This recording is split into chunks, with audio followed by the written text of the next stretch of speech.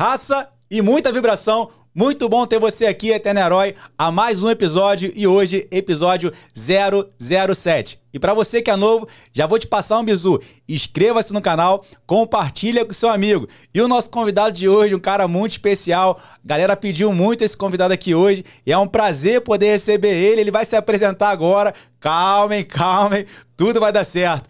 Coronel Lino, da Brigada de Infantaria Paraquedista. Meu irmão, muito obrigado por estar nosso convite. Já bate aqui já, ó. Satisfação imensa e gratidão por isso. Coronel, se apresenta um pouco para esse pessoal aí, para conhecer mais o Coronel Lino. Pô, Vinícius, eu que agradeço aí a oportunidade de poder estar aqui participando do episódio 007, 007. Né, do nosso eterno herói. É um prazer muito grande poder estar aqui dividindo e contando um pouco da minha história, né? Da minha trajetória, porque eu não nasci coronel. Ou, é, houve um, um trajeto muito árduo até chegar a coronel do Exército Brasileiro. A coronel, né? E é isso que a gente quer saber, coronel. Como é que começou? Quem foi que incentivou? Quem foi o maior incentivo para o senhor se tornar um militar e chegar no, lá na, na, famosa escola da, das Agulha Negra, né? Que é a MAN. Quem foi o maior incentivador disso tudo aí?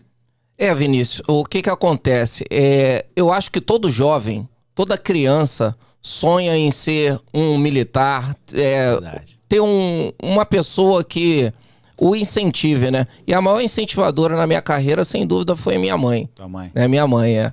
Eu lembro que um dia eu estava trabalhando, eu já comecei a trabalhar novo, né? Com nove anos eu já trabalhava na feira. E um belo dia eu vi um grupo de militares se deslocando. Naquela época podia andar fardado no Rio de Janeiro ainda. Isso em 1900? É, 80 e uns quebradinhos, Não tava né? nem aqui ainda. É, é.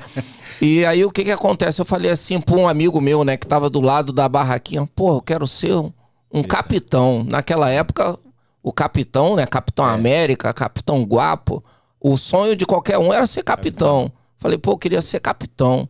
Aí o cara, pô, você tá viajando, você tá com a cabeça na lua, né? Aí eu pensei assim, pô, é, a gente realmente tem que sonhar alto, né? Da palavra. Né? A gente tem que sonhar alto, a gente tem que sempre mirar nossos sonhos na lua, porque se a gente errar, a gente acerta uma estrela, né? Exatamente. É isso aí. E aí, o tempo passou, eu consegui ingressar no colégio militar, né? Pô, que legal. Aos 12 anos de idade, eu Isso consegui. Em qual bairro? Eu morava em Duque de Caxias, Duque né? Caxias. É, no Baixada bairro Fluminense. São Baixada Fluminense, bairro São Bento, um bairro bem humilde. Bem... Galera, que é, galera que é de São Bento aí, ó, já dá um alô aí, ó, Caxias, tamo junto. É isso aí, é isso aí. E aí eu consegui ingressar no colégio militar. Falei assim, porra, tá chegando, né? Tô chegando perto. Mas aí, Vinícius, era uma dificuldade muito grande. Transporte público, horrível. Eu tinha que estar tá acordando 4 horas da manhã para pegar o trem 5 e 20 na estação do Gramacho, para chegar na estação de São Cristóvão e ir andando até o colégio militar. O colégio militar era onde? na Tijuca, é, na Tijuca, na Tijuca, até hoje, até é. Hoje. Cara, e aí chegava lá, muitas das vezes, só com um copo de Nescau na, no estômago, estudava, saía na época uma hora da tarde e aí fazia o trajeto oposto. Chegava em casa três horas da tarde sem almoço. Caramba. E aí ficou nesse processo cansativo. Eu não tinha base, né? Sempre estudei em escolinha de bairro, não tinha base nenhuma. Tinha. Não tinha base. O pai do senhor não era militar? Não, meu pai era militar. Era meu militar. pai era, era, cabo na época. Cabo, cabo é. aí foi promovido a terceiro sargento. E aí, mas meu pai nessa época estava transferido, estava morando no Rio Grande do Sul e a gente morava, continuou morando no Rio. Nós Sim. não acompanhamos na transferência. E aí, o que, que aconteceu? Primeiro ano de colégio militar, reprovado. Caraca. Reprovado, aí aquela Eu, frustração. É, é, é. O, o, colégio militar na época tinha um ensino muito forte. Muito, né? muito, forte. muito forte. E como eu vinha de um ensino de escolinha de bairro sem base, é. pô, tomei pau em quase todas as matérias. E já não tinha aquele tino de estudar, ter aquela regularidade. Fomos pro ano seguinte, eu consegui ser aprovado. Aí no outro ano, reprovado de novo. Caraca, então. Aí fui jubilado do colégio militar. O que, que acontece? O colégio militar você não pode ser reprovado dois anos. Pode. Aí você perde a vaga, Caraca. vai pro. volta pra, pra instituição civil. Normal. Aí aquilo ali me frustrou muito, né? Pô, e, mas ao mesmo tempo que houve uma frustração, houve uma mola propulsora. Uma motivação. Uma motivação. Aí eu falei, porra, se aquele cara ali passou, pô, eu também posso passar. Excelente. E aí eu comecei a correr atrás do prejuízo. Estudar, correr atrás estudar. do prejuízo, comecei a estudar, etc e tal. Até que minha mãe conseguiu, nessa época, minha mãe estava trabalhando com aquelas sacoleiras do Paraguai, né? Aquela é, tá, sacoleira do Paraguai, é isso aí. Aí eu consegui ingressar num pré-militar muito bom em Caxias. Muito bom que já tinha tido um ano anterior de diversas aprovações. E aí, vamos lá, faz, faz a matrícula, começa a estudar em janeiro, etc e tal. Aí estudei em janeiro, fiz quatro simulados ali. A... Comecei a, a melhorar, melhorar, fevereiro mais quatro simulados. Aí chega a notícia que eu não queria. Numa dessas viagens, minha mãe perdeu a carga, foi apreendida. Caraca. Foi apreendida na fronteira. Aí ela, ó, você não vai mais poder fazer o pré-militar porque acabou, perdi a mercadoria toda e agora falei, putz. Acabou o dinheiro. Agora que o, a, o sonho foi pro barro mesmo. Mas aí o que que acontece? Fui procurar emprego. A vida seguiu, né? Fui procurar emprego. Você tinha quantos anos? Eu tinha 17, 17 para 17 para 18. É, eu tava fazendo 18, 18 anos. anos. 18 anos. Fui procurar emprego. Aí eu tô procurando emprego no calçadão de Caxias. Naquela época, cara, eu lembro como se fosse hoje. Parei assim, impecável maré mansa. É Na época o pessoal colocava o, o as vagas de emprego colada ali no, vidro. no vidro. É. Aí tá eu vendo ali a vaga de emprego, ver se eu me adequava ali. Aqui. Aí eu senti bater no meu ombro, né? Aí eu olhei para trás assim, era o diretor da escola que eu estudava. Ajudava, que... E que eu já tava duas semanas sem ir. Que eu não tava pagando. Não tava pagando, não tinha mais condições. Aí ele, o que, que você tá fazendo aqui? Eu falei, tô procurando emprego. Ele falou, e por que você não tá indo mais pro pré-militar? É. Falei, pô, é, a minha mãe não tem mais condições de pagar. Aí ele, ó, segunda-feira, você e sua mãe lá conversando comigo. Aí eu conversei com a minha mãe, pô, o que, que será que ele quer? Não sei, vamos lá ver. Aí entramos na sala e ele falou assim: Ó, eu tô vendo o desempenho dele aqui, nos oito simulados. Ele tá numa progressão que tá dentro da, no, do que a gente espera. Do, resultado. Do, do resultado obtido. A prova é só em setembro. E a gente vai fazer o seguinte: ele vai estudar de graça Bom. durante o pré-militar. Aí, pô, voltei pra realidade, né? Eu falei assim, porra, agora tem que focar. Focar agora. Eu tenho que passar, é tudo ou nada. E aí vinha outras dificuldades, né? Sim. Outras dificuldades de lanche, de que eu ficava o dia todo lá. Eu chegava lá de manhã, estudava o segundo grau, à tarde eu dava uma monitoria e à noite fazia o pré-militar. Caraca. Que aí eu compensava com a monitoria ali Sim. nas matérias que eu. Eu sempre fui bom de exatas. É. Então na parte de exatas ali eu dava uma monitoria. Caramba, irmão. E aí, cara, foi passando o tempo, aí, por livro, não tinha. Aí o que, que tinha que fazer? Não sei se você chegou a pegar o sebo na época. Nossa, na época eu sou muito novo. então, tinha os sebos que vendia livros usados.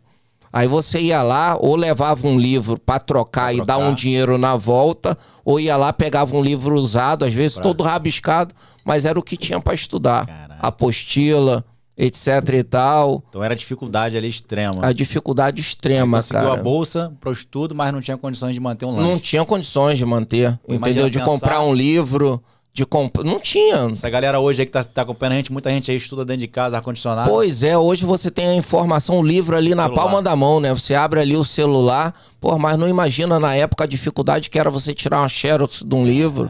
É. Era tudo muito mais difícil, muito é. mais difícil. Nada foi fácil. Nada foi fácil, legal. Né? Legal. E aí, dentre essas dificuldades todas, chegamos na época da prova, setembro. Eu fui aprovado. E mil e? 1992. 92. Então... Aí tá eu jogando bola na rua. Tá eu jo... pela primeira vez? A... Não, eu já tinha feito outros concursos, Sim. mas daquele jeito, né? Achando que estudou uma semana, é. ia passar barro, barro. Barro direto. É, eu devo ter sido reprovado nos seis concursos. Seis concursos. É, um eu até estudei direitinho, que foi pra ESA. Mas não consegui passar, mas não consegui me classificar. Classificar. É, e isso vinha sempre me frustrando sempre me frustrando. Só que eu falei assim, não, vou usar toda a frustração nesse ano de 92 para eu passar. Aí, e aí tá eu jogando bola na rua, rua sem asfalto. E naquela época existia o tal do Telegrama, né? É o nosso WhatsApp hoje. É, o Telegrama. Carta, aí eu vi um, um, correio, um rapaz do correio entrar de motinha na rua e aquilo ali, porra, era, porra. Não era normal de acontecer. Não era normal ver uma moto no meio do nada do correio. Caraca. Aí o cara parou assim para perguntar: onde é que mora Flávio Lino dos Santos? Eu olhei assim: sou eu. Ele é você? Onde é que você mora? Eu falei: eu moro ali. Ele falou: vamos lá, que você tem, você tem uma, um telegrama aqui, você tem que receber e tem que apresentar um documento.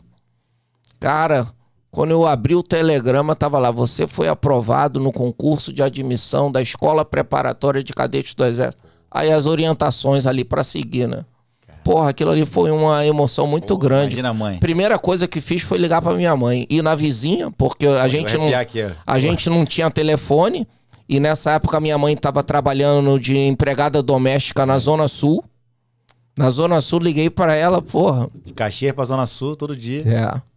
Isso aí. Eu liguei para ela, porra, mãe, foi aprovado. Cara, que legal. É, cara, pra tu ver que, pô, chega a arrepiar aqui, cara, da dificuldade que a gente vê quem é quem, né, cara? Aí é. ligou pra mãe. Porra, porra, foi uma felicidade só, cara. Imagina, aí, aí começa. Imagina a mãe recebendo a ligação lá nas Porra, pois é. Meu filho passou no concurso, porra, pra oficial do exército. É, aí vem os exames médicos, etc Dinheiro, e tal. Aí né? vai ver o dente, o dente, porra, tá cariado, aí tu tem que pagar o dentista é, pra eu... consertar, é. pra ser aprovado aquela bagunça no final. Consegui é, entrar na SpaceX. E aí tem um fato curioso, né? É, a gente chega na SpaceX e passa por uma quarentena, né? Uma quarentena. E depois que você é, passa pela quarentena, o que que acontece? Tem a entrada solene pelo portão das armas. Sim. E essa entrada é o seguinte: quem é, é oriundo de colégio militar entra com a farda do colégio militar, e quem é oriundo do meio civil entra de terno e gravata. Sim. Então, uma semana antes eu liguei, mãe, olha só, a entrada é o seguinte: eu preciso de um terno e uma gravata. Eu não tenho. Ela falou: tá bom, vou ver aqui o que eu consigo fazer, etc e tal. E aí ela ia chegar um pouco mais cedo, a entrada era num sábado, 8 horas da manhã, ela ia chegar lá às 6 horas da manhã com meu terno e minha gravata. Cara, em cima da. Em cima do laço. Que isso. Aí ela chegou lá com um praterninho. Quando eu fui, ver, mãe, cadê a parte de cima? Ela não, só consegui comprar a calça, a camisa, a camisa e a gravata. Faltou o paletó. Faltou o paletó. Eu era o único em forma que tava sem o paletó. É. já marcou a turma, a turma já conhece todinho. Então. Muito engraçado. E aí eu falei, pô, mãe, como é que eu vou entrar sem o paletó? Ela, não. Se te impedirem de entrar, tu corre, pô. O importante é tu entrar pelo portão. Falei, beleza. Aí, fato curioso, eu entrei, eu tenho a foto fui um dos, um dos únicos do meu pelotão que entrei sem o paletó. Fato bem inusitado, Porra, engraçado. Quantas pessoas, formando? Quantas pessoas? De, eh, na SpaceX, 700 vagas. 700 vagas, então 700 pessoas entrando, é, era o único é, diferente. O único, único diferente. ó, vou deixar a foto dele aí, que ele tá falando é no Telegram. Aí. Você que tá no Telegram aí, ó, se inscreve no Telegram, que o link na bio aqui. Vai lá que tu vai ver essa foto lá. O único na AMAN, em 1900, na SpaceX. Na SpaceX, SpaceX com a camisa diferente, com sem paletó. Já entra aí. 98. 92. 92. 92.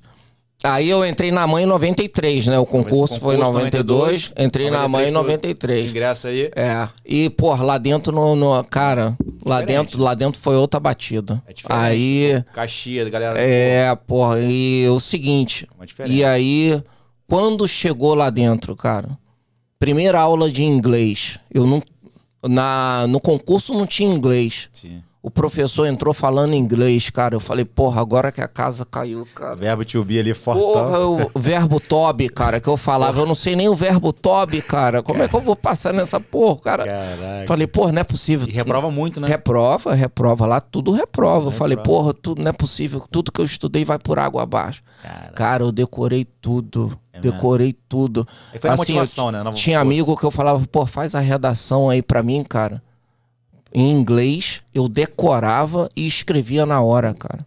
para fazer a prova. Em inglês, porque eu não sabia nada. Não sabia nada de inglês. Naquela não... já tinha um inglês forte. Ainda então. O inglês forte lá na SpaceX. Por quê? A SpaceX começava no primeiro ano. Primeiro, segundo e terceiro. Só que houve um ano que aconteceu o seguinte: a SpaceX só funcionou com o terceiro ano. E eles mantiveram a grade curricular. O inglês já era, no terceiro ano, um inglês avançado. Coisa que eu não tinha, não pô. Não tinha nem o básico. Caraca, é, mora, pô. E aí, a, é isso aí. Colégio de bairro, né? De bairro, Caxias, pô. Caxias. Baixada, naquela época, Baixada era, pô. Hoje já tá muito E aí, e aí, eu o tempo todo me reinventando, mas final do ano, aprovado. Aprovado. Pra, para a MAN, né? Isso é quanto tempo? Ficou três... Isso, um, ano, um ano. Um, ano, na SpaceX. É. Vai pra MAN. Aí você vai pra MAN. Pra Aman, dos 700 já foram 500 e pouco. Diminui já. Já, já diminui, é. é. E aí na Aman, porra, a Aman já é um negócio mais assim. É, vamos dizer assim. É, você já tá um pouco mais adaptado. Já, tá, já passou por um processo. Já, já passou pela SpaceX. Só que, porra, a Aman é outro, é outro, é outro militar, nível, militar, cara. Militar pra caramba. Porque a Aman, na minha época, era o cadete do terceiro ano tomando conta do primeiro, o cadete do quarto ano olhando o primeiro, os instrutores olhando o primeiro. Então, o primeiro ano, cara, foi um é. ano assim. Meu Deus, pau. é pau, pau, pau pra toda a e obra. A turma, de, a turma de formação do seu, então, é? 97. 97. É. Passei na AMAN 94, 95, 96, me formei em 97. 97. Ó, pra tu ver aí, ó, dificuldade, já vamos deixar aqui, ó. Dificuldade, já começamos esse, esse episódio já com, com emoção. Pra tu ver que, cara, é, os grandes também choram, os grandes também se emocionam. Pra tu ver, ó, dificuldade, morador de Caxias, mãe doméstica, mãe, pô, cuidava, é, é, empregada e estudou para se tornar um oficial do Exército Brasileiro. Então, cara, assim como ele falou um, dia, né? Né, Coronel? Assim, ó, eu vou ser capitão.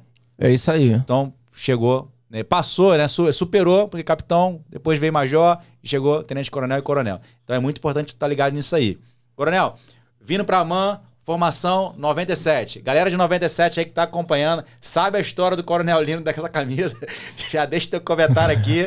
já bota aqui, ó, bisonhou. Quando eu colocar a foto, eles vão lembrar. Vão, vão lembrar. essa situação é. aí. Forma ali, vai para onde depois? Então, aí, baseado na sua. Aí tem a escolha da arma. No terceiro é. ano, eu é escolhi o material ano, né? bélico, é. Eu escolhi material, material bélico. Então? Material bélico, Legal. é. E depois, baseado na classificação, você escolhe o local onde você quer servir. Sim. Então eu queria voltar pro Rio de Janeiro, minha mãe no Rio de Janeiro, minhas irmãs, eu sou o irmão do meio, né? Eu tenho uma irmã mais velha e uma irmã mais nova. Eu queria voltar pro Rio de Janeiro para estar tá mais perto da minha mãe, para dar um apoio para ela. E aí fui pro 21 Belog. 21 fica. 21 Belog ele já foi extinto. Ah, já foi extinto. Já foi extinto. É, era um batalhão febiano que ficava ali perto na Salustiano Silva. Salustiano Silva, é. Lá em cima, perto da colina da Torre. Ah, aqui mesmo na vila. É, isso, ah. na Vila Militar. Sim. Aí vai para ali? Cara, ali foi uma, uma unidade escola para mim. Fiz é. os melhores amigos ali que eu tenho até hoje. E ali tu era o quê? É, cadê aspirante? Aspirante. aspirante. Ali eu fui aspirante, segundo tenente e primeiro tenente. Fiquei ali 98, 99 e 2000.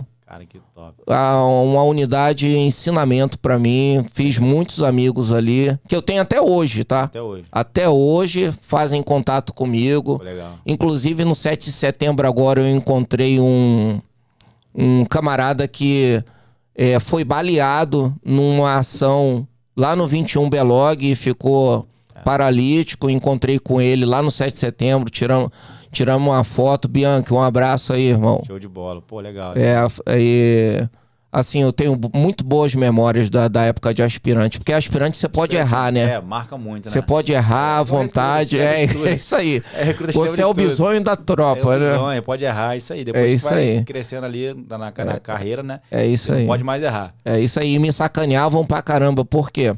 Onde eu morava, a rua não era calçada, né? Não era calçada, não era asfaltada, né? Era é, lama, pô. Lama. Pô, e quando chovia, eu chegava com meu carro lá, cara, parecia que eu tinha feito um rali, pô. A galera, pô, Lino, tu tá vindo da onde? Eu, sacaneia, tô vindo do meu sítio, pô. Tem que meter uma, senão os caras, pô. Tô vindo do meu sítio, pô. Pô, meu ara lá, meu, vai lá. Aí, dali do 21, 21, né? 21. Aí eu fui convidado para ser instrutor do Instituto Militar de Engenharia, né? Aí fui instrutor do Instituto Militar de Engenharia nos anos de 2001, 2, 3 e 4. Foi também uma, uma unidade que me deu uma visão totalmente. O Instituto Militar de Engenharia é uma, um centro de ensino de excelência, né? Excelência. Reconhecido nível nacional e internacional.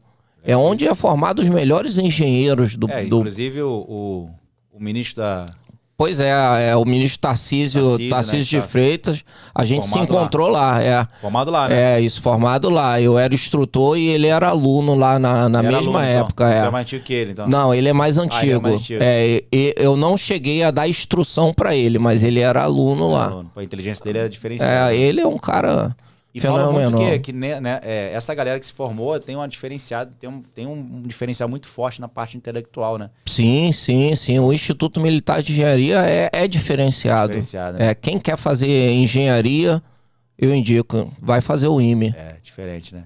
E vamos para Brigada Paraquedista. Saí do IME Brigada Paraquedista, 2005. básica. Não, não. Formação básica eu fiz lá em 99, ah, quando eu era aspirante. Ah, tu fez como é? é? fui, fiz como segundo tenente. Segundo tenente. Mas hoje, na, na AMAN, hoje o cara consegue fazer. Na minha época não, não, não existia isso. Hoje você já faz na AMAN, se eu não me engano, Guerra na Selva e o curso básico paraquedista. O cara já sai de lá já formado. Já, porra, e é, sai no melhor preparo físico melhor que preparo. tem, porra. Não, né? o cara já. Antigamente não tinha que sair depois. É, isso aí. E teve um fato inusitado que aconteceu na marcação de capacete. Né? Na minha época, a marcação de capacete era numa sexta, sexta. e o curso começava na segunda. E aí fizemos a marcação de capacete na sexta. E, porra, aí a gente no sábado eu encontrei com alguns, pô, como é que tu tá? Tô bem zaço, cara. Pauleira. É, os caras, pô, tô todo quebrado, não é, sei o quê. Cara, no domingo eu não andava. É. o meu teve um retrocesso ali na parte muscular. Domingo eu não consegui sair da cama, cara. É. Falei, caramba, como é que eu vou lá para área de estágio na Naquela segunda? época, não tinha, não tinha os bizu, não. Hoje em dia, os oficiais, hoje vai fazer, eles montam uma piscina com gelo. Cara, eu era totalmente anti Eu sempre fui totalmente antibisurado. Eu sempre fui na carcaça, hoje, porra. hoje tem várias paradas que os caras fazem, né? É, naquela época eu levava água, porra. Água, hoje em pô. dia tu leva Gatorade, Gatorade leva não sei leva o quê, repositor, é, isotônico. É isso aí. E o número de PQD? Se apresenta pra essa galera com então, paraquedista. 64 619 99 barra 4. Curso aí. básico paraquedista. 99 barra 4. 64. 64 619. Muito antigo. Você que é paraquedista, já deixa teu número aqui, ó, de PQD. Se for mais antigo que o Coronel, fala assim, ó, mais, sou, mais, sou mais antigo aí que o Coronel, mas estamos juntos. Obrigado, paraquedista. Diferenciado, né, Coronel? Fala Diferenciado. Um Deixa eu só falar um fato inusitado que aconteceu na área de estágio. É, balanço. Balanço. Porra, tinha é, um, um estagiário que estava fazendo o curso comigo, que ele tinha sido do terceiro ano e um instrutor do, do primeiro na AMAN. Ou seja, naquela época ainda tinha o trote sadio Sim, na AMAN, né? E ele tinha dado trote nesse cidadão. Porra, ele me. O cara era alto, cara. O cara devia ter 1,90m e pouco. Caralho. Ele falou: 21, você vai segurar fulano no balanço. Aí ele foi puxando, né? Aí você segura ali pela, pela parte do, do do equipamento, é, né? Lá, lá, em cima lá. Geralmente são dois. Ele falou: é, não, só o 21 um. vai te segurar. Aí. Cara, eu despenquei lá de cima porque ele foi puxando um cara tão forte. Caraca. Chegou uma hora que eu não consegui segurar. Aí tu, tu agarrou nele, Despenquei mas... lá do balanço. Foi minha melhor aterragem até hoje. Bom. Aí os caras meteram lá excelente. Não... Porra, vou te falar, isso deu uma merda lá do caceta reunião. Como é que o cara saiu, pulou lá de é. cima? Mas o tava, cacete... tava de capacete? Não, tava de capacete, tava pronto, eu porra. Lembro, essa, porra, tinha musiquinha que a gente cantava, evento vento forte na zero da é, morte. É isso aí, né? é isso aí. Ele pô. quis puxar o cara até o talo lá em cima, é. só que eu não suportei o peso do cara. É, o cara, pô, é. Aí eu fui embora, eu fui livre. Que... Caraca, e você que conhece a área de estádio aí, solo sagrado, já sabe como é que é essa parte que o Coronel tá falando aí. Aí, se for um paraquedista, isso já era 90... 99. 9. Mas aí eu não, não consegui uma vaga na Brigada Paraquedista. É Matibel só daria pra É, só no 20. No 20 ou, ou no QG. É. Basicamente, o, o, oficial de material bélico em início de carreira, ele serve no 20 Belog Paraquedista ou no 20. É basicamente um 20. E não tinha vaga. Tinha vaga. Não tinha vaga naquela época. Tem arma que a vaga é Isso, e aí eu fui ser instrutor do IME. Ah, então e terminou a, a, minha exoneração no IME, eu fui para a brigada. Fui para o 20 Belog já capitão. Capitão já, isso era 2005. 2005, quem comandava na época? Quem comandava, Coronel Antunes, comandava o 20 Belog paraquedista. Um altão, né? Não, não é tão alto não. E o subcomandante era o hoje General Oiticica, que comandou recentemente o... Quanto tempo lá, lá no 20 Belog? Fiquei um ano, por quê? Eu ia logo para Erezaó. Mas nesse ano aí eu ainda tive a oportunidade de fazer o curso de mestre salto. O MS. É. Meu primeiro salto, meu primeiro salto, não, segundo ou terceiro no 20, tinha um capitão lá que era meio piroca da ideia, não vou falar o nome. Ele, você hoje vai lançar a tropa, era um bandeirante. Eu não tinha um curso de mestre salto. Ah, não era MS, não. Não era MS. Ele falou, ah, me explicou lá, o circuito vai ser esse, esse. Aí todo mundo, né, olhos de Mônica dentro do avião, é, pô. Letra. Um cara ali, pô, que nunca tinha lançado. Mas aí deu tudo certinho, lancei a galera ali, caiu todo pode até falar o nome do cara. cara não pode. Né? caiu todo mundo na ZL, perfeito era capitão ali. de que é ó? Eu era, não, não, ele era capitão já saindo major ah, já, e eu era capitão sem exaó, né? É, cara, tem uns caras que eu lembro da minha época também tem uns caras brabos assim, uns MS que os caras botam na Olha lá, olha lá, tu vai ver, tá vendo? ver tudinho, tu é uma sensação. Não, não, é uma sensação ali, porra. Sensação a Brigada para... Paraquedista é uma unidade à parte, né, no nosso exército. É um pouco, uma galera é um pouco maluca, né? Um pouco é. completamente. Dizem, tem uma história na Brigada, você já deve ter ouvido, que de cada 10 PQDs, nove são malucos e um se acha normal. um se acha normal. Esse normal acho que não sou eu não, meu irmão. Cara, doideira. Brigada paraquedista, diferenciada, se for uma paraquedista ali vai pro 20 Belog depois de um tempo, depois... Fui fazer Exaó. Exaó. Isso, aí fiz Exaó. Depois da Exaó, eu fui servir no Instituto Batalhão de Manutenção de Armamento. Que é esse mundo? BMA na BMA. época. Hoje ele não existe mais, ele já foi extinto, ah, né? O BMA era lá no finalzinho também. E o BMA era numa rua ali atrás dos PNRs da Exaó, uma sim, rua sim. sem saída. Eu não lembro o nome da rua. Ah, Era uma ruazinha ali, um batalhão que só fazia manutenção de armamento, sim. né? E aí eu tive uma surpresa. Eu já estava há 12 anos no Rio de Janeiro e o oficial ele tem que ter vivência nacional, diferente do praça que tem vivência regional.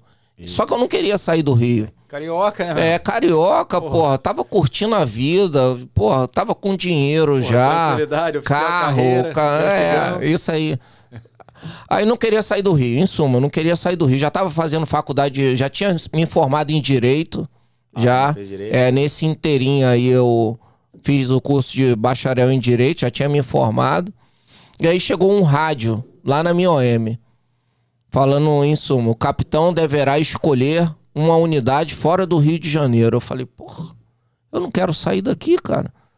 Falei, coronel, não tem como a gente responder que eu não sou voluntário. Ele falou, pô, não acho muito bom responder isso, não. Falei, não, vamos tentar. O, o capitão tal não é voluntário para ser transferido. Porra, vem um, uma ligação da, da, da Decem de Brasília. cara querendo falar comigo lá da Decem. Eu falei, putz, deu merda. Caralho. Aí quando o cara fala, o, o capitão, olha só, a gente aqui não tá perguntando se você é voluntário, não ou você vai escolher uma unidade, ou a gente vai te mandar para uma. Caramba. Falei, putz. É. Aí sentei com o meu comandante, ele falou, Lino, olha só, eu servi em Marabá, no interior do Pará. Pará. Servi lá oito anos. Uma unidade boa, um lugar bom. Tranquilo. Falei, porra, então vou colocar só uma opção, Marabá. Ele falou, coloca uma, então. Coloquei uma opção. Porra, dois meses depois eu transferido para Marabá. Cara, Parazão. E ficaram mínimo quanto tempo? Dois anos. Aí é, eu já tava namorando minha atual esposa, né? Isso já era 2009. Nós começamos a namorar em 2006. 2009. E aí, final de 2010, final de 2009, saiu a transferência. Casei em janeiro de 2010. Dois dias depois eu já tava a caminho, a caminho para Marabá. Caraca. Caminho para Marabá. Não Marabá tive é- lua de mel. É no sudeste, sudeste do Pará. Como é que é lá o, o, o ciclo de vida do pessoal lá? Marabá é o seguinte: é uma cidade com 200 mil habitantes, né? onde existem as pessoas que têm uma classe social muito boa, que são os fazendeiros, os empresários. É, Existem os militares Sim. e existe as demais, a, a, os demais trabalhadores, né, que não são tão bem remunerados. Então o militar ele consegue transitar ali tanto na parte da alta sociedade quanto da baixa ali. Ficar no intermediário ali, legal. É. É uma... casou, casou, dois dias depois estava viajando. Dois dias depois estava viajando. Uma cidade sem shopping. Na época, Marabá, hoje já tem. Na época não tinha shopping, não tinha nada. Transamazônica, uma parte sem asfalto. E aí foi uma experiência fenomenal. Para quem não queria sair do Rio de Janeiro, chegar em Marabá. Foi uma... Fui de carro. Caraca, fui de carro. É, deu 2.700 quilômetros. Fiz em dois dias e meio. É. Vai parando ali, mas é doideira. Né? É, só parava para dormir. Mas levou mudança também tudo? Levei mudança dentro do carro. o que, o que cabia dentro do carro é. Tinha acabado de casar e minha esposa falou assim: já não cabia mais nada dentro do carro. Ela falou assim: Ih, esquecemos o faqueiro que minha Eu falei, cara, não cabe mais em nenhum lugar. Já era, já Se era. abrisse a mala, esparramava ali. Eu fiquei pensando no seguinte, cara, se furar um pneu, a gente tá ferrado. Tem que tirar tudo de dentro do carro para pegar um Carai. step. Muito carioca, coronel, muito carioca que vai para outro estado, ele tem essa, essa dificuldade às vezes, né? Porque o cara faz o concurso, ele quer ficar dentro do Rio de Janeiro. É, isso aí. Aí existe a dificuldade. Como é que foi para o senhor essa parte de, de, dos pais ainda, a distância? É assim. Vinha para cá direto? O que, é que... Não, não. O que que acontece? É, com a ida para a, a SpaceX... É, é, ligou. É, não, assim... A, o que eu costumo falar é que eu cortei o cordão umbilical da minha mãe muito cedo. Isso é bom. A gente, eu sempre tive a, a é, ela sempre deu liberdade ali pra gente fazer, ó, vai sozinho. Mas mãe, eu não sei ir não. Você vai perguntar fulano como chega, chega ali, pergunta um guarda. Então a gente sempre o morador da Baixada ele fica muito safo, né? É, é. Muito safo. A criancinha, a criancinha ali, pô, te dá, é, pô, sabe atravessar sozinho. É. Hoje, se bobear minha filha, eu tenho que pegar no, no braço ali para atravessar uma rua, pô. Cara, é, né? tamanho da evolução é outra, né? É, então é, é, é isso aí. Então eu cortei o cordão umbilical muito cedo, então eu sempre falava, mas assim, sentia a necessidade de todo ano voltar para ver, passar um Natal, Natal passar um ano novo essas datas festivas aí. Pô, legal. Coronel, muita gente que tá seguindo a gente aí é praça, é a galera que se conectando com a gente devido ao nosso projeto. E a, a, é, teve muita é, recomendação, muita indicação para o senhor participar de um, de, desse episódio com a gente aqui. E por esse relacionamento de praça com oficial, que não é normal, é comum, mas não é normal. Fala um pouco dessa experiência que o senhor tem com cabo, com soldado, com sargento, com oficial que é legal de a galera entender um pouco isso. A galera que segue a gente sabe que, que tem um o maior nosso público é, é, é cabo, soldado e sargento, mas muitos dos senhores indicaram o coronel aqui por essa por o jeito que ele, que ele lidera, né, da liderança que ele tem. Como é que pô, isso vem da onde? Isso vem lá de Caxias, isso vem no ensinamento da mãe, do pai? É Cara, isso, isso vem da minha história de vida, né? Da minha história de vida. Eu sou uma pessoa muito simples. Foi aquilo que a gente conversou. Eu não, não nasci coronel, então eu vim lá de baixo. Então eu vejo no soldado, eu sei todas as dificuldades que ele passa. Excelente. Então, por exemplo, soldado chegou atrasado. Pô, chega aí, peixe. O que, que foi que aconteceu? Pô, coronel, o trem quebrou, variou, não sei o que. Eu entendo isso porque eu já peguei trem, pô. Entendeu? Eu sei da dificuldade que é você se locomover por transporte público no Rio. Então eu meio que, não, tá tranquilo, tá justificado. Já outros não conseguiam entender isso porque não passaram por esse processo. Então, o que me facilitou muito minha aproximação dos praças, seja ele soldado, cabo, sargento, foi isso. Foi que eu sabia, eu conseguia entender todas as dificuldades dele, porque eu vivenciei todas. Todas, todas entendeu? Todas elas.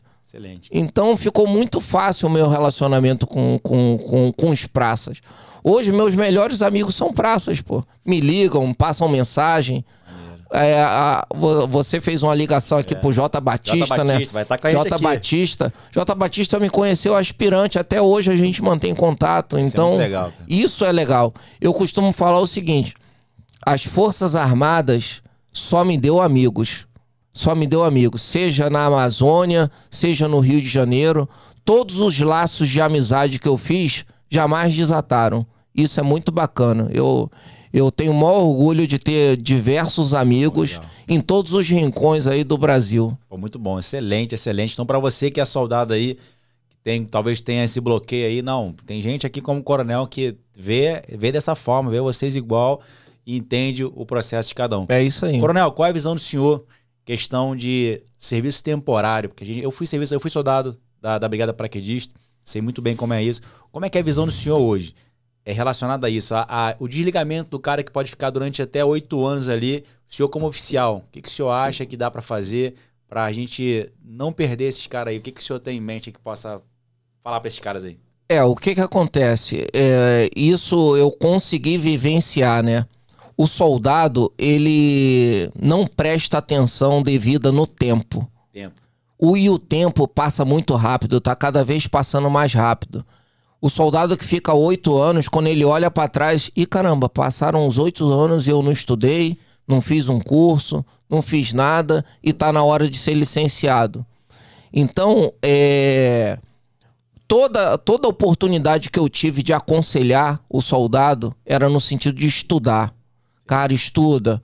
Eu ajudei alguns, que não, não, não é me vangloriando. O, o, as pessoas que eu podia ajudar, de qualquer forma, eu ajudei. Bom. Seja chegando um pouco mais atrasado, porque fazia um cursinho de manhã, seja liberando mais cedo para ir para a escola, Excelente. seja ajudando financeiramente. Então, é, o, o, o difícil para eles é perceber essa andada do tempo, que eles precisam é, entender que uma hora o serviço militar vai acabar. Vai acabar. E o soldado fica ali vibrando, bumbo no pé direito, vibrando, vibrando, e acaba esquecendo que o exército hoje não tem mais a situação da estabilidade. É. Então ele tem que se preparar para o mercado de trabalho, tem que fazer curso, tem que se, se especializar. Hoje no HCE, hoje minha atual unidade é o HCE. Hoje eu vejo uma realidade diferente. Diversos soldados lá já fazendo um nível superior. superior. E eu acho muito bacana Top. isso. Top. Muito bacana. Top. Então, para tu entender também que tem existe pessoas que pensam é, na importância do estudo para do estudo para você que é praça, para você que foi soldado, para você que é militar, para você que foi veterano, para você que é de outras forças também, que passou no concurso. Cara, continue. Ó, continue, continue, não para para você chegar aos resultados que você quer chegar. É isso aí, só não atinge o objetivo quem desiste. Quem desiste. Quem, quem desiste, é, quem não tem propósito. As frustrações, elas fazem parte, mas usa a sua frustração como uma mola propulsora, assim como eu usei as minhas frustrações, né? E o detalhe é o seguinte, é... O, o, o soldado e o cabo, que saem das Forças Armadas, seja ele o sargento também temporário, são militares altamente especializados. Altamente especializados, qualificados. E se tiverem mais uma qualificação civil, eles conseguem arrumar emprego tranquilamente, porque o que a gente aprende nas Forças Armadas, hierarquia, disciplina, pontualidade, os nossos valores, a gente tem valor, não tem preço. Exatamente. Isso aí, pô, é um diferencial muito grande na sociedade. Muito valor grande. Não tem preço. Essa, essa é a palavra-chave. Os caras aprendem muita coisa. Eu falo o seguinte: o exército ensina muita coisa. E cabe a gente se preparar para a saída. É isso aí. E se a gente se preparar para a saída, a gente voa. Porque eu falo, cara, os caras que eu conheço aqui fora, eu tô aqui fora já tem um tempo, que foi militar, que pegaram isso como, como mola, como você está falando, como mola, como dedicação. Cara, eles são donos de empresas, eles são gerentes de empresas, eles são líderes em projetos, então, assim, se destacam. Então, a ideia é essa, o cara se destacar. Então, pô, ter uma visão assim de um oficial, assim, cara, eu ajudei, eu faço, isso é muito importante para essa galera. Não, você é um exemplo disso, Vinícius. Eu vim aqui para um podcast, eu não sabia que eu ia encontrar uma estrutura dessa daqui, cara. Essa você é... tá de parabéns, não, cara. Estamos juntos, esse é o nosso foco, esse é o nosso trabalho de transbordar nessa galera aí. Por isso que a gente está trazendo história sempre de pessoas que têm relevância para a gente somar. Mandar para a mensagem para esse cara, cara, você precisa estudar. É isso Você aí. Precisa se conectar. Eu costumo junto. falar o seguinte: o estudo, o conhecimento é a única coisa que ninguém tira de você. Ninguém tira. Ninguém tira. Ninguém tira. Tiram sua roupa, tiram seu dinheiro, tira. levam o seu relógio, levam o celular. Mas o que você aprendeu Ninguém tira. Ninguém tira. Você vai levar para o resto da sua vida. Reconstrói tudo. Com é, isso aí. Show de bola. Coronel, chegamos na brigada, passamos um pouco nas informações de educação um pouquinho. O senhor tá nativo ainda, né? Tô nativa, tá sirvo no HCE. Coronel? Isso. Existe a possibilidade de chegar a general? Não, sem, sem chance. Sem é, chance? sem chance, porque eu não fiz os cursos que eram para ser feitos para chegar ao generalato. Mas o generalato é uma, é uma situação, assim, excepcional. Sim. Durante a carreira, a, já vai sendo indicado quem são os militares da turma que vai chegar ao generalato. A gente já sabe mais, ou, sabe menos. mais ou menos. Quem saiu, eu tô totalmente fora é. de, dessa quadrícula aí. Show de bola. E hoje, atualmente, o senhor vem candidato a deputado estadual. Isso, hoje eu concorro a uma cadeira na Alerj para deputado estadual. Essa visão política hoje, isso já, já acontecia antes ou foi algo que despertou no senhor, tipo assim, cara, eu preciso me posicionar? Não, não acontecia antes. A gente até brincou, né? Existiam algumas situações que eu falava que eu nunca ia fazer. Comprar uma moto. Porra, falei que nunca ia andar de moto. Andei de moto. Faço parte aí dos paraquedistas do asfalto. Águias Imbatíveis, um abraço aí a pro pessoal do, aí, do paraquedistas do, dos asfaltos e Águias Imbatíveis. Comprei uma moto e a segunda era ser político. Por quê? O político no nosso Brasil, ele tem um estereótipo de ser um, um corrupto. Isso. Corrupto, não vai fazer nada para a população, só vai ver os interesses próprios. E eu já vinha fazendo alguns trabalhos sociais alguns trabalhos sociais de ajudar pessoas com a cesta básica, Sim, pagando um cursinho para um, é, entregando algumas coisas em, em asilos, fraldas. Só que eu percebi que o que, que acontece? Essas ações, por menores que sejam e sem ajuda de ninguém, elas já estavam entrando muito no meu bolso. Por quê? Eu vivo do meu salário que eu ganho no Exército. E você sabe, né, pelo fato de eu ser coronel, que eu ganho rios de dinheiro. Não, é. Ninguém enriquece dentro das Forças Armadas. Não, Isso é. é. ponto pacífico. Os caras querem estar nesse foco é, aí no lugar. Então as pessoas às vezes não têm a real noção de quanto ganha um coronel, que ganha muito menos de que um operador de, de elevador lá do Congresso Nacional. Muito menos. Então eu percebi o seguinte, pô, eu posso fazer muito mais que isso. Eu tenho condições de fazer muito mais que isso. Eu tenho uma formação que me permite é, fazer muito mais que isso. Sim. Por que não colocá-la em, em favor da população fluminense, né? Até que em novembro do ano passado, no jubileu, eu conversei com o presidente. Ele falou: pô, por que você não vem candidato? Aí. E aquilo ali ficou na minha cabeça.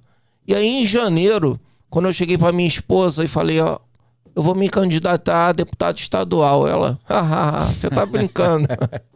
Você tá brincando. Eu falei, não, não tô não, tô falando sério. E aí ela não levou fé. Levou fé.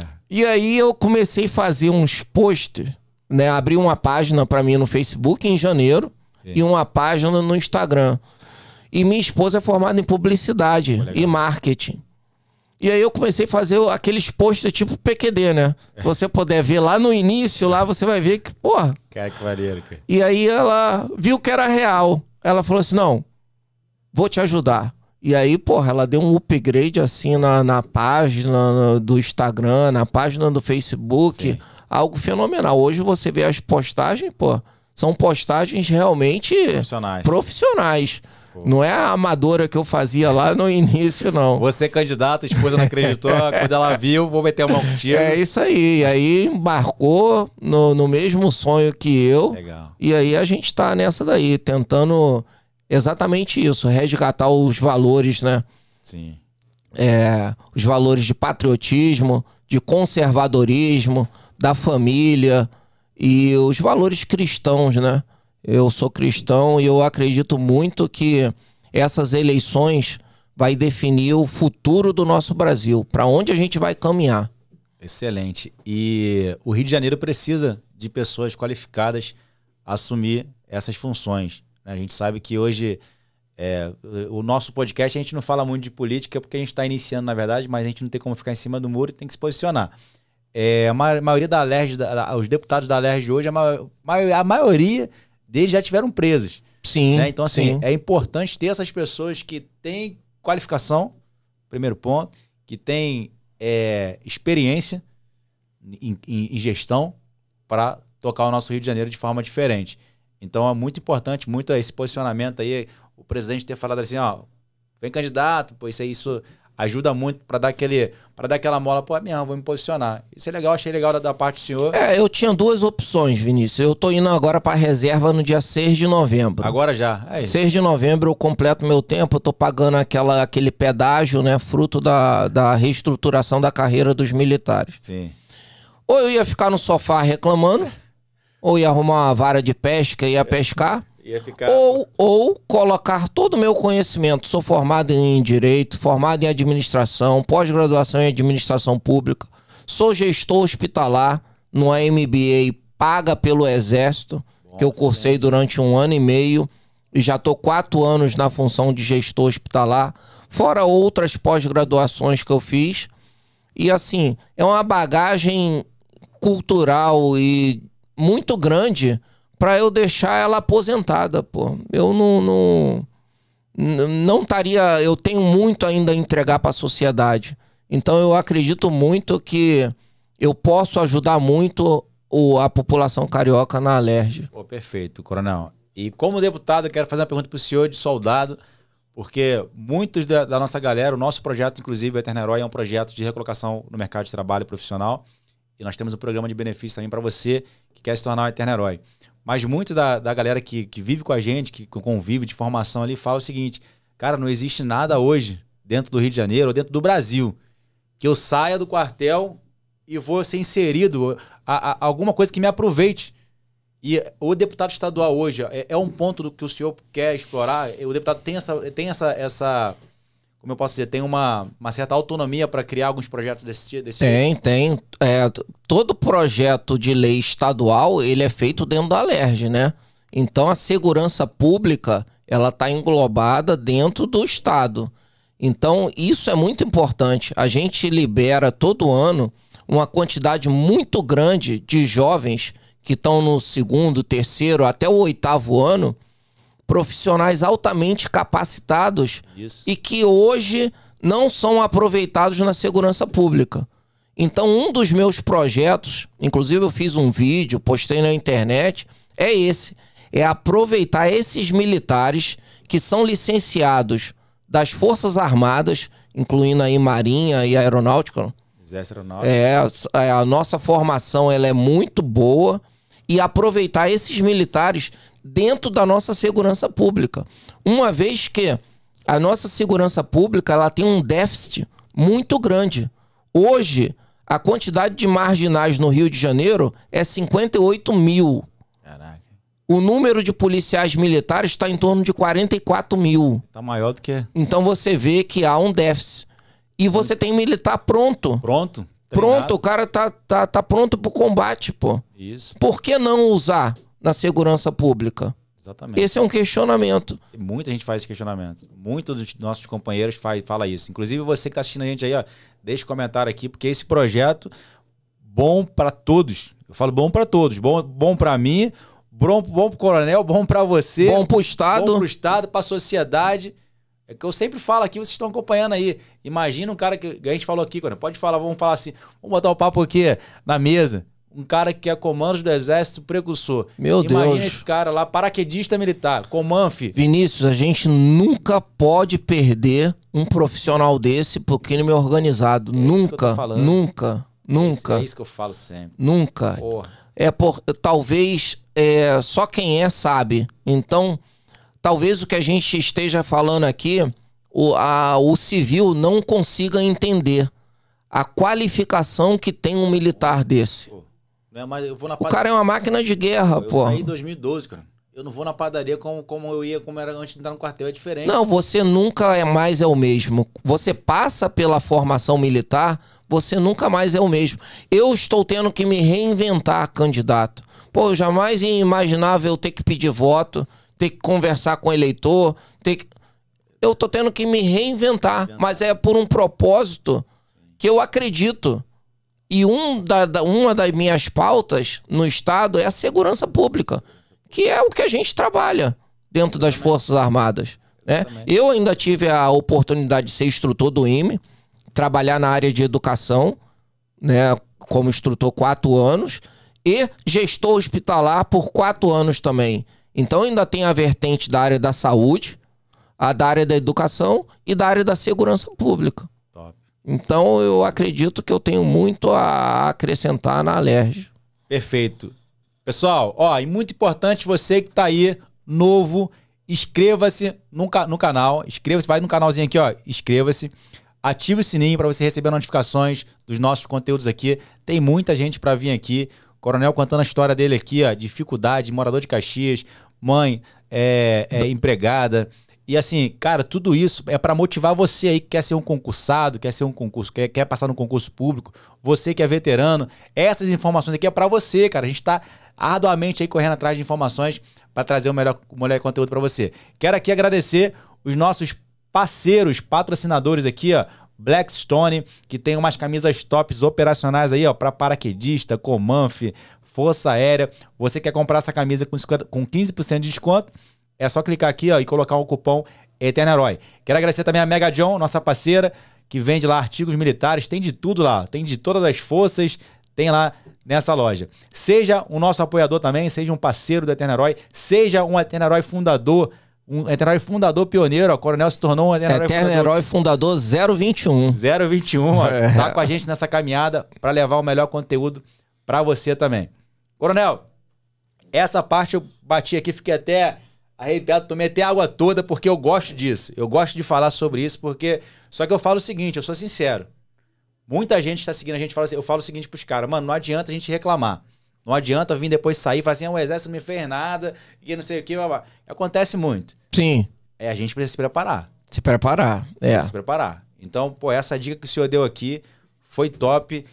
Queria que o senhor agora lembrasse de um momento, é uma história que marcou a vida do senhor. Além da, daquela história do início, uma história assim, tipo assim, cara, eu, tudo que eu faço hoje foi por, porque, talvez porque isso aconteceu. Tem algum assim, rapidamente? Eu... Tô pensando aqui. Eu acho que foi mesmo a, a, a saída do colégio militar. Eu acho que aquilo ali me marcou muito porque eu sei que eu tenho eu teria condições se eu estudasse. Só que na época assim, o adolescente eu gostava de soltar pipa, eu gostava de, de jogar bola de gude, eu gostava de carrinho de rolimã. Então eu não consegui me desapegar daquela infância que a gente tinha no raiz, passado. Raiz. É a infância raiz, né? O 66 teve aqui. Que eu falo. 66 teve aqui e botou quantas histórias de, porra, de infância raiz. O 66 me salvou muito na área de estágio. É porque, é, eu sempre, todo dia eu tava na escolinha. Todo dia eu tava na escolinha. Quando eu vi o 66 se aproximando, eu começava a gritar. Um, dois. E aí o 66 era o único que tirava da escolinha e os instrutores não recolocavam. 66 me, me safou várias vezes. Sem olha, saber. É uma lenda, né? Uma lenda. Lenda é. viva da Brigada Paraquedista, tem um carinho imenso por ele. Coronel, vamos voltar aqui um pouco para as histórias. Queria que o senhor deixasse um recado. A gente está com um tempinho legal ali. Queria que o senhor deixasse um recado naquela câmera direto para um pouco da para esses guerreiros. Uma mensagem tipo assim, cara, você precisa se conectar. Uma mensagem diferenciada. Tá bom. Você que pôde ouvir a minha história, é, eu não sou melhor do que você. Né? A única situação que aconteceu comigo foi que eu aproveitei as oportunidades que foram dadas. Então você aproveite a oportunidade que está sendo dada para você. Não desperdice, por quê? Às vezes você não pode ter uma segunda oportunidade. Então, agarre essa oportunidade com todas as suas forças, tenha fé em Deus e acredite em você. Você tem um potencial muito grande Basta despertá-lo, tá? Acredite em você. Show de bola, ó. Para você que tá gostando desse episódio aí, vou lembrar de novo, deixa teu comentário aqui porque é muito importante pra gente, pra gente alcançar mais pessoas a se conectar com essas mensagens. Formado na MAN, paraquedista militar, MS, tem mais operação. Saltador livre. Saltador livre também? Saltador livre. saltador livre. O cara não falou nada. Mas eu vou deixar a foto para vocês também no Telegram. Vai no Telegram aqui, no link aqui, que eu vou deixar a foto lá da especialidade dele aí. Saltador livre. Essa é MS livre também? Não, MSL não. É, e, quando, e quando se desligar agora em novembro? Ganhando as eleições, se Deus quiser, sendo deputado estadual, vai continuar soltando? Então, eu tô um pouco afastado da atividade de salto livre, né? Mas já tô marcando com o meu grupo aí que tá trabalhando comigo de voltar a saltar livre, né? E o salto livre, ele tem um. Na... Ele foi muito engraçado como ele aconteceu na minha vida, porque eu tinha tudo para ter desistido do salto livre na minha primeira experiência, né? É. é. Em 90 e 98, eu comecei a fazer o AFF, né? Que é o salto livre civil, né? Então, ali na, no barra jump, e o que que acontece? Você realiza sete saltos durante o curso. Isso. Então tem os níveis, né, de salto. Nível 1, um, você sai com dois instrutores. Nível 2, dois instrutores. No nível 3, que aconteceu a, a, grande problemática. Você sai com dois instrutores e aí o instrutor ele te coloca na posição e te solta. Cara, quando o instrutor me soltou em cima do mar ali, eu comecei a girar louco, igual um helicóptero. Eu não sabia o que, que era terra, o que, que era mar, o que, que era ar, eu não sabia mais nada. Eu só tinha na cabeça o seguinte: que ele falou: aconteça o que acontecer, abra o seu paraquedas. Cara, que sensação horrível você ficar capotando no ar, capotando, imagina, capotando Pô. e você quer se equilibrar, pegar em algum lugar, não tem nada para você pegar, cara. Você tem que encontrar a posição. E aí, porra, eu abri meu paraquedas. Chegou lá embaixo, porra. Ele falou: O que, que houve, cara? Você tava na posição, perdeu. Eu falei: Não sei o que, que aconteceu. Vamos subir de novo. Cara, subimos de novo. Outro desastre, cara de novo, capota, né, etc e tal. E aí, não, olha só, chega por hoje, você já tá cansado, amanhã você volta aqui. Cara, voltei no domingo. Mesma coisa, duas vezes. Caraca. Aí eu falei assim, porra, isso não é para mim, cara. Isso não é para mim. Só que eu fiquei com aquilo na cabeça. Porra, se outras pessoas conseguiram, eu consigo também. E eu fiquei martelando aquilo por um tempo. Até que em 2005, olha só, de 98 para 2005, eu fui fazer o túnel de vento. Fiquei com aquilo na cabeça, fui fazer o túnel de vento. Aí o túnel de vento é uma ferramenta fenomenal, né? Uma ferramenta fenomenal. Peguei uma instrutora de túnel de vento brilhante e aí eu voltei para saltar. Quando eu voltei para saltar, o cara já me olhou assim: Ué, você? De novo? E aí? Vai ter que voltar do zero. Eu falei: Não, eu acho que eu já consigo voltar aonde a gente parou, etc. Ele, não, cara, olha só, porra, você lembra o que, que acontecia? Eu falei: Não, vamos lá. Cara, quando ele me soltou, parecia que eu tava no túnel.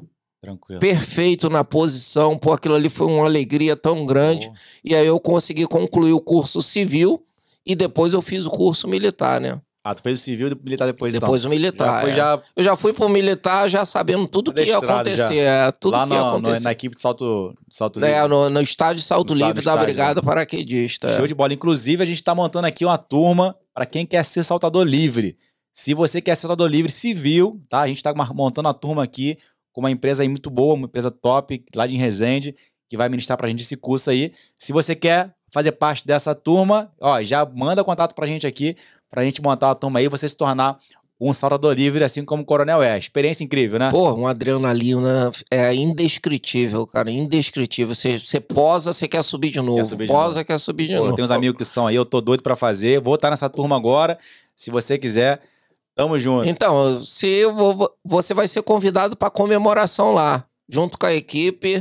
Depois das eleições, vamos comemorar o resultado Aí. lá em Resende, lá em saltando Resende. livre. É. Que Quem vamos. não é saltador livre vai sair no salto Thunder. Né? Vai sair no Thunder. Com o instrutor. Aí. É isso Show aí. Show de bola, vai acompanhar que a gente vai cobrir lá esse evento é lá. É isso aí, vai cobrir o evento. Vai cobrir o evento lá. Show de bola, Coronel. Cara, muita história, muita coisa boa aqui, muito papo bom, muito papo para você veterano, para você militar, seja qual for a força. A gente falou de operacionalidade, a gente falou um pouco de militarismo.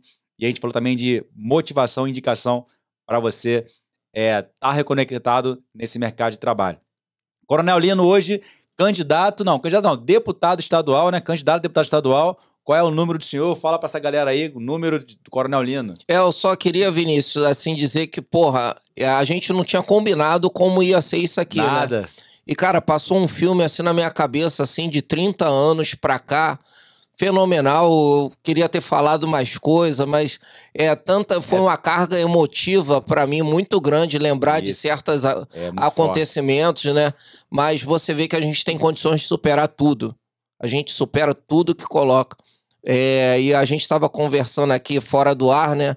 Você tinha tudo para ter desistido do teu tudo, projeto. Tudo. E a gente não pode desistir na primeira pedra que é colocada no nosso caminho.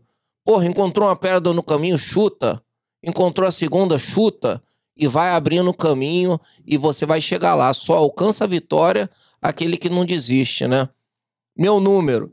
É, sou candid... Coronel Lino, candidato a deputado estadual pelo nosso Rio de Janeiro. Meu número 10047, tá?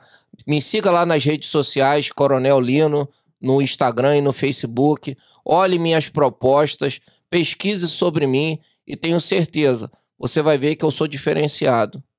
Show de bola, Coronel. Tamo junto. Ó, vamos deixar o link dele aqui na descrição com o Instagram dele, com o perfil das redes sociais dele, tá bom? Para você se conectar com ele também. Uma história incrível.